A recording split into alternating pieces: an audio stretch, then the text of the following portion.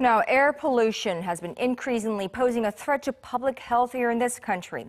It's prompted the nation to take steps on the various levels to come up with practical measures to minimize the damage. Now, among such efforts, a device to reduce the pollution from car exhaust has been developed by a government-funded research institution.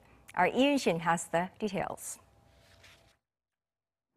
Diesel vehicles are one of the main culprits of air pollution and the government-funded Korea Institute of Machinery and Materials has developed a new device that helps tackle emissions from such vehicles.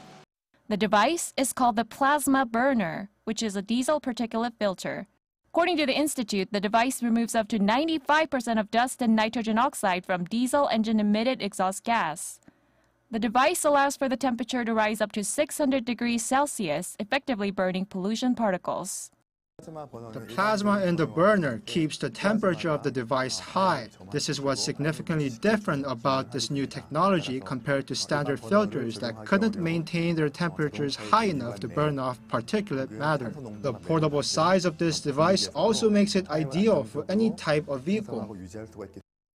The Institute is currently working on getting the Environment Ministry's official approval certification. Once it is approved, it can be applied to any diesel vehicles as soon as next year. Meanwhile, the government of Seoul announced on Thursday its list of ideas to raise awareness of the ongoing air pollution issues.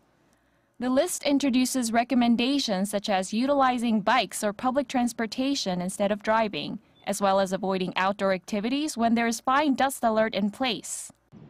Along with the government's measures proposed last week, the recommendations aim to improve the air quality of the nation as well as to decrease related health problems caused by air pollution.